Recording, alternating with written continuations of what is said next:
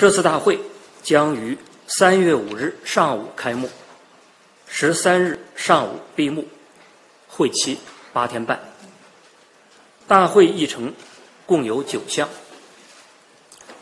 第一项，审议政府工作报告；第二项，审查计划报告及草案；第三项，审查预算报告及草案；第四项，审议全国人民代表大会常务委员会关于提请审议《中华人民共和国立法法》修正草案的议案；第五项。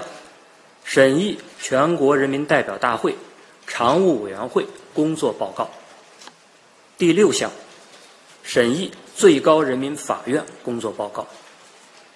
第七项，审议最高人民检察院工作报告。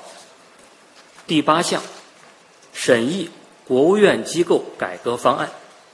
第九项，选举和决定任命国家机构组成人员。